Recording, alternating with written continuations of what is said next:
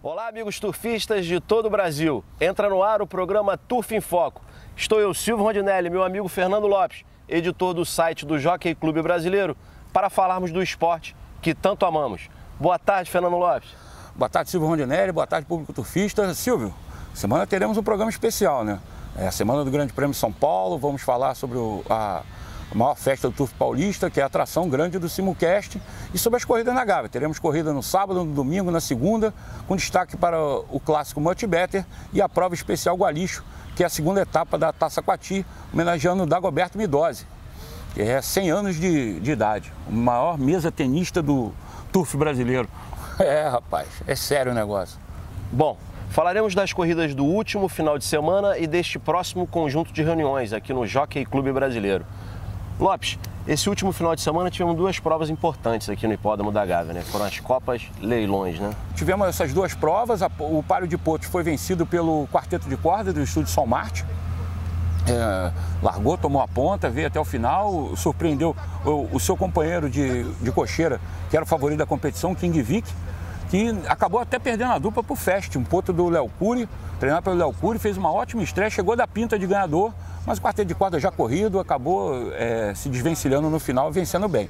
E na disputa das potrancas, a vitória ficou com a Force Singer, é, do Alice Sweet Carol, uma potranca que já havia feito uma boa estreia, é perdido para Six Flags, da, do, uma reservada da Fazenda Mondesir, já na distância do páreo. Então ela tinha vantagem, já conhecia a distância. Então largou, é, correu ali entre as primeiras, venceu, venceu bem. Direção precisa do Icorreia. Do né? Icorreia e treinamento da Adelson Melegolo. É uma vitória bastante merecida. É que o, o Aras Switcare, o Aras Andes investe bastante na nova geração e a vitória da First Singer foi uma bela vitória. Fernando Lopes, vamos falar um pouquinho agora sobre as, as estatísticas aqui no Hipódromo da Gávea, tanto a de jockeys como as de treinadores. Ô Silvio, na estatística de jockeys o Vegil repetiu a dose, né? Vegil eh, tinha aberto já uma vantagem sobre o, sobre o Leandro. Nessa semana venceu mais seis carreiras. O Leandro tinha passado a outra semana em branco, essa semana venceu uma apenas. Então o Vegil aumentou a vantagem, agora são 14 vitórias. O Vegil tem 135, o Leandro tem 121. E o Wesley já está com 116, está se aproximando do, do, do, Leandro Henrique. Então, como eu, como eu já vim falando, eu acho que a estatística está só, tá só entre os três. Vegil é o amplo favorito e está aí com 14 vitórias na frente do, do Leandro Henrique. E os treinadores? Entre os treinadores, o, o Guione segue na liderança. Sampaio, que é o segundo colocado essa semana, não conseguiu vencer. O Ronaldo ganhou apenas uma carreira, o Venâncio também ganhou uma carreira. Agora, quem está ganhando muito é o Esteves. O Esteves está tá começando a se aproximar desse pessoal. Não sei se vai dar tempo, porque é só até o final de junho, mas o Esteves já está com 65 vitórias. O, o, o Guione tem 88, o, o Sampaio 76 o Ronaldo 73 e o Venâncio 68. E o, o Esteves já está com 65, está chegando nesse, nesse, nesse grupo aí. E quem foi o maior vencedor da semana foi o seu Jairo. O seu Jairo venceu quatro carreiras, chegou a 44 na, na temporada, passou para a nona colocação. E seu Jairo, se não tivesse suspenso, o, só o, o, o Coelho, o né? Coelho, o Coelho tem 39 vitórias, ele teria 83, fora algumas que correram no nome do, do Fabrício. Então eu teria umas 85 vitórias por aí, estaria bem perto do, do, do Guione. Mas é, a, a, luta vai ficar entre Sampaio, Ronaldo Lima e, e Venâncio Naide, tentando ultrapassar o Guione. Né? Vale dizer que o Guione está na frente. Um final bem complicado aí. Vai, vai, ser, vai, ser, vai ser bonito. O pessoal vai começar a fazer bastante inscrição aí, a tropa vai estar tá toda na rua. Fernando Lopes, já foram pagos os ADETs para as preparatórias da semana máxima do Grande Prêmio Brasil, aqui no Hipódromo da Gávea, né? Sim, Silvio, já essa semana foram pagos os ADEDs, é, serão quatro preparatórias e também terão, teremos duas provas de, para animais de dois anos. É o Grande Prêmio Francisco Vilela de Paula Machado, em 1.600 metros para as potrancas, está aí o campo. É, depois teremos também o Grande Prêmio Conde Esberg, o critério de Potos, é, são em 1.600 metros. Os dois serão no sábado, no domingo, perdão, dia 14, dia das mães. As corridas vão começar às 3h15. Como a gente mencionou na semana, na semana passada. passada. todo mundo pode almoçar com as mães, com suas esposas. Depois vem para o Prado, que vão ter dois grandes prêmios de muita qualidade, com pontos e potrancas de dois anos, bastante corredores. A gente está passando os campos das provas, né? É. Também, né? E no sábado, no dia 13, nós teremos a, as preparatórias. Teremos o Grande Prêmio Cordeiro da Graça, em mil metros.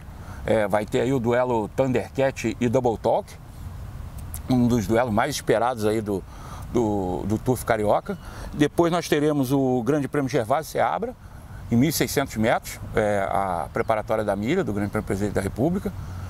O Grande Prêmio Henrique de Toledo Lara, em 2 mil metros, é, preparatório para o Roberto e Nelson Grimaldi Seabra. E finalmente o Grande Prêmio Doutor Fronten, é, que é um aí para o Grande Prêmio Brasil e vai ter bons corredores e o chão vai tremer aí no, no sábado, dia 13, Silvio. É, então promete ser uma semana logo, logo após a, esse final de semana do Grande Prêmio de São Paulo, né? É, outro final de semana de turf empolgante, só empolgante. que agora é aqui na Gávea. Maravilha.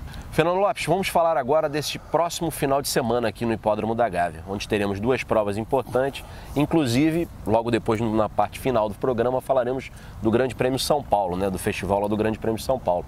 Mas, a princípio, vamos falar desse final de semana na Gávea, João Lopes. É, Silvio, nós temos, vamos ter 10 pares aí no sábado, 9 pares no domingo e mais 10 na segunda-feira.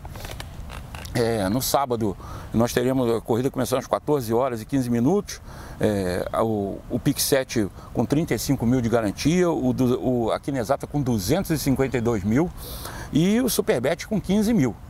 É, a gente tem tentado separar sempre um, um animal aí para o pessoal botar nas apostas, para... Para ajudar, né? Para ajudar. É, como você me, me obriga toda semana a olhar negócio de tempo, essas coisas. Eu marquei esses dois cavalos que eu marquei que vão correr, na, é, são pares programados para pedir de grama. Eu acho que se trocar a raia, não tem problema, eles têm, correm com chance. Porque tem, tem chuva programada para sexta, passada, para domingo e para segunda. Não é uma chuva daquelas, mas também semana passada estava 8 milímetros de chuva, choveu 988. Então a gente estava bebendo água em pé aqui na Joca.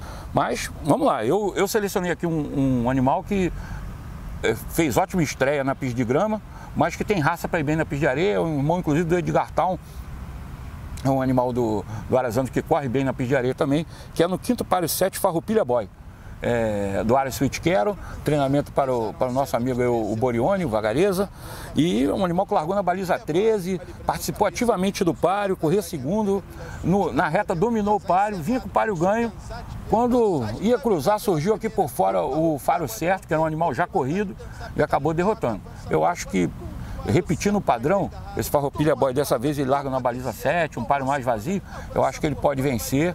E se trocar pista, acho que ele não vai ter, não vai sofrer rebate na pista de areia também. Então eu no, no sábado eu marquei é, o quinto páreo 7 Farroupilha Boy. Animal que até, é, teve, tiveram duas eliminatórias no dia, que ele correu, foi 78 76, a outra foi 79 49. Então foi a melhor marca de eliminatória aí do por dois anos. Eu acho que o Farroupilha Boy pode vencer no sábado. Independente da raia. Independente da raia. Fernando Lopes, no sábado nós temos também a prova especial Gualixo, né? Sim, Silvio. Segunda etapa da Taça Quatia. É uma homenagem aos 100 anos do Dagoberto Mendoza, que é um dos surfistas mais queridos e respeitados aqui da Gávea. É, foi mesa tenista profissional, é, assistiu todos os grandes prêmios do Brasil, menos um que ele teve que ele não pôde porque ele estava defendendo o Brasil na Olimpíada. Então é, um, é, uma das pessoas mais queridas aqui, respeitadas do hipódromo. Todo mundo gosta de ser o Dagoberto, popular da Gol. É uma prova equilibrada, eu acho que a força é o Famous Action do, do estúdio HIR, monta WS Cardoso. É, eu acho que ele deve ganhar, um animal que é o ganhador do, é o ganhador do derby, né? Então, está correndo esse par de 2,800. Eu acho que ele, ele é a força, esse Sauvian Blanc está em forma. O Cabolé é um animal que corre bem nessa, nessa distância e vai voltar a, a, a enfrentar esse, o Famosete com chance. Eu acho que os dois aí são os principais. Fernando Lopes, no domingo, os olhos estarão voltados para o Grande Prêmio São Paulo, em Cidade Jardim, né? Hipódromo Jockey Clube de São Paulo. Sendo que temos carreiras aqui na Gávea, né? Vamos dar um apanhadozinho. O que, que você destacou nesse, nessa reunião de domingo aqui na Gávea? Silvio, todos os olhos voltados para São Paulo. Grande Festa do Paulista, o Grande Prêmio São Paulo, é, vários profissionais trabalhando por lá. Mas nós temos nove pares aqui na Gávea, pique 7 com 55 mil e separei um animal na, no pique 3 inicial, que é para a gente já começar a reunião acertando e ficar animado para apostar nos outros pares também. Separei a Time Halo, que é uma égua que vem de dois segundos, um na grama e um na areia, então se tiver troca de pista não tem problema. É, montaria do L. Henrique, treinamento para Delcio Menegolo, área Santa Jovita eu acho que não deve perder. Está em forma, o par, o par é equilibrado, mas acho que ela está com o par na boca. O Henrique costuma ser um, um tira-teima tremendo, então acho que ele pode, pode abrir a reunião aí com a, com a Time Halo. Primeiro páreo 9, Time Halo é o destaque do domingo. Fernando Lopes, na segunda, na noturna de segunda, nós temos o clássico Much Better, em 2.100 metros na areia. O que, que a gente pode falar dessa prova? Silvio, uma homenagem justa aí do Jockey Clube Brasileiro ao animal que defendeu a FAD Estúdio TNT, um animal que ganhou todas as provas importantes do calendário clássico sul-americano e um dos maiores cavalos da criação nacional e que tem um páreo em 2.100 metros na pista de areia que a força eh, ficou o Kawara. Kawara tem corrido sempre aí contra o Departure Time, numa ocasião pegou o Daniel Boom pela proa e dessa vez não, não, terão, não terá nenhum desses adversários no campo. Então eu acho que ele fica como força. Agora, essa chuva que vai cair, se cair uma chuva daquelas de podia alagar tudo, a raia fica pesada, efervescente melhora um ano na raia pesada, né? Então é rival, acho que o Dicuzai também tem categoria para vencer. E Energia Guest, um animal que correu o Grande Prêmio Brasil, um animal que tem seus problemas, mas que está se ajeitando e, e, vai enfrentar essa prova. Eu acho que o, o, o Kawara do estúdio Red Rafa é a força, mas tem adversários, o Paro promete um desenlace bem bacana, bem bonito, mas eu confio, estou confiando na vitória do, do Kawara. Na segunda-feira, além do, do Clássico Multibet, nós temos mais nove pares, temos o Pique 7 a 70 mil, eu também destaquei um animal que sempre a gente destaca, eu gosto de destacar no Pique 3, que é o pessoal, uma aposta que caiu no gosto popular, né? O pessoal. Logo na abertura. Logo na abertura da reunião, destaquei no primeiro par número 1, um, Tina Casaleval. Está em Nova Farda, é defendendo novos interesses, com o treinamento agora do, do Luiz Esteves. Que anda voando, né? É, os animais do Esteves estão tinindo. Ele está com o braço quebrado, mas os animais estão voando. Ele é, é a primeira vez que a primeira vez que corre seus cuidados, montaria do Vegil, eu acho que ela pode, pode vencer. É, ela era treinada pelo Passou para o filho dele, DT e agora está com, tá com Esteves. É, Estava correndo sempre pela variante, agora vai pela reta grande, está de Lazix a primeira vez. É, ela teve, ela reapareceu correndo um pouco, mas não para misturado com os machos, agora enfrenta só as fêmeas. Eu acho que ela tem tudo para voltar e vencer. Então, é, primeiro para número um, Tina Casaleval, Silvio. Fernando Lopes, a semana mais esperada em São Paulo, semana do Grande Prêmio São Paulo, que acontece neste domingo, dia 7, é, no Hipódromo de Cidade Jardim vários animais saindo aqui do Rio de Janeiro, vários profissionais, tem várias caravanas também de, de cariocas aqui para poder acompanhar o domingo no, no Hipódromo Cidade Jardim. São 26 pares, 13 programados para o sábado, sendo que um é destinado ao quarto de milha, mais 12 ao, destinado ao puro sangue inglês. E no dia, no domingo, né, domingo valioso aí no hipódromo de Cidade de Jardim, temos 13 páreos é, programados para a domingueira de Cidade de Jardim, sendo todos destinados ao puro sangue inglês, com destaque ao Grande Prêmio São Paulo. Vamos falar um pouquinho, Fernando Lopes, é, dessa grande festa aí em Cidade de Jardim nesse domingo. Silvio, é a festa máxima, né? É o, esperado por todo, todo o público brasileiro. Que é uma é um, fase nova, né? É, uma fase nova, diretoria nova, a gente torcendo aí para um turf paulista forte, porque o turf, o turf paulista forte, o turf brasileiro fica forte. Não adianta a gente achar, ah, o Rio tem que ficar forte, Não. São Paulo fraco é melhor para a gente. Nada disso. A gente, é, é, óbvio, é ótimo a gente ter o Valdomiro Blandi aqui, mas é, é, o certo é o Valdomiro Blandi estar tá lá. O Valdomiro Blandi lá, o, o L. Henrique aqui, o Velial lá o, o, o Vegil aqui, entendeu? Para o TUF paulista forte. A gente precisa de um TUF paulista forte para o TUF brasileiro ser forte.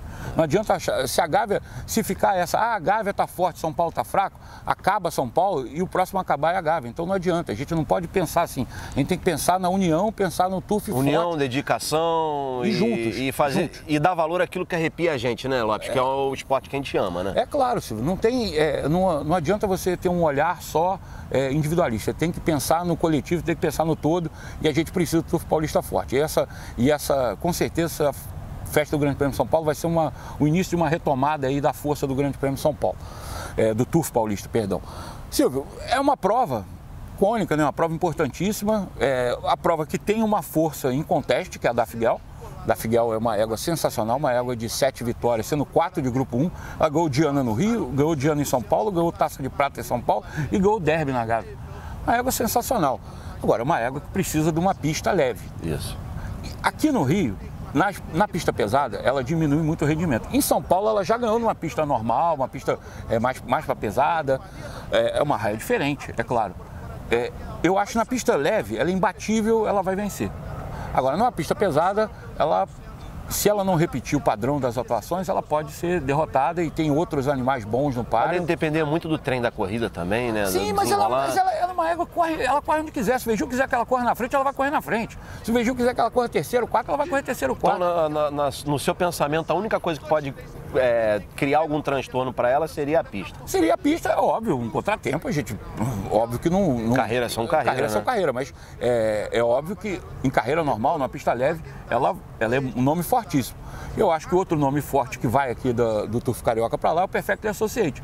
Um animal. Esse já prefere uma raia mais macia para pesada. Uma raia leve para ele, muito dura para ele, não é tão bom. Um animal de categoria, é, foi terceiro no Grande Prêmio Brasil, chegando da fila de vitória e que reaparece, volta direto no Grande Prêmio São Paulo. Ele, depois, ele, depois do Grande Prêmio Brasil, ele correu aqui na Gávea, é, foi desclassificado por falta de peso, mas é, deu uma paradinha, teve no Aras descansando, voltou, Beto arrumou ele. Ele deve estar em uma forma maravilhosa, que é para escrever no Grande Prêmio São Paulo. Beto é um treinador muito criterioso quando, quando escreve nessa. nessa a Farda tem, é, ganhadora também. Ganhadora, veio, monta, né? monta o Valdomiro Bland, que foi o joque do Barolo, na conquista mais Isso importante aí. do Área Santa Rita da Serra, que foi aqui no Grande Prêmio Brasil. Então, 2015? É, hum. Então, é, eu acho que o Perfect Associate é um grande rival da, da, da Figuel. Temos outra, tem a Milha Internacional, que nós temos o English Major, no par, no par das, das éguas, nós temos a, a Aikens, temos a Dust Cup, temos a, a. Então, no par de velocidade, temos quatro animais, samba de bamba que o Dr. Quintela comprou no leilão em São Paulo, que era naquele leilão de liquidação do Belmonte. Temos o Criminal Legacy, que está que está em forma. É, não, foi, não foi o Thundercat, mas o, o Anderson botou a Emirates Sand no par. A Emirates Sand vem de, vem de colocação aqui contra a Sou Giovana, que está numa forma tremenda. E então é uma, é uma carreira, são carreiras importantes, carreiras bonitas. Pários cheios, né? Pários cheios, é, os melhores jockeys do país reunidos por lá. E a gente torce aqui para um, uma, uma reunião de muito sucesso e que seja o início, como eu já disse antes, o início de uma retomada da força e da pujança do Turf Paulista. Maravilha. Desejamos boa sorte a todos os profissionais envolvidos nesse domingo, não só os jockeys, os, os treinadores, o pessoal da televisão, Jair Bala, Roberto Casella, para que seja uma festa maravilhosa e que tudo corra bem nesse domingo lá em São Paulo. É isso que a gente espera, Silvio. É isso aí. Bom, chegamos ao final de mais um programa Turf em Foco. Eu, Silvio Rondinelli e Fernando Lopes, aguardamos todos semana que vem.